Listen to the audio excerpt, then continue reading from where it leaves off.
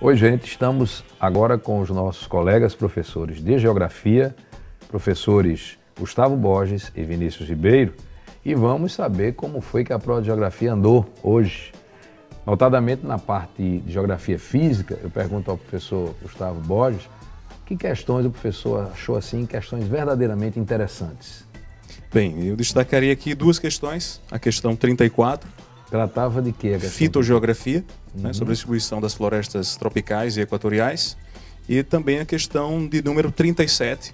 Que tratava... Muito interessante, que trata da evolução do relevo costeiro. Hum. Muito bem elaborada a questão, com uma figura bem clara, mostrando a evolução da deposição de sedimentos para a formação de um delta.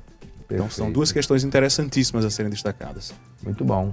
E, professor Vinícius, com relação às sete questões da geografia humana, vamos dizer assim, algumas assim que tem um gostinho especial para você? Bom, em especial foi a questão que envolvia a situação do gênero em relação à participação da mulher no mercado de trabalho, e principalmente na questão da desigualdade de ocupação feminina no mercado de trabalho. Agora, em termos de geografia econômica, ocorreram três questões em sequência, acho que ficou um pouco pesado, mas nada a criticar, mas uma questão, foram três questões que envolviam abordagem da geografia econômica, especialmente envolvendo situações sobre atualidade, principalmente na questão da, do problema grego na economia mundial.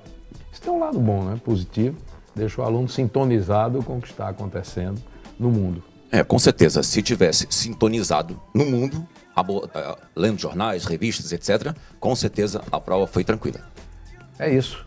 Fera. Então nós estaremos daqui a pouquinho com outras disciplinas, com outros comentários das provas ocorridas hoje. Até já.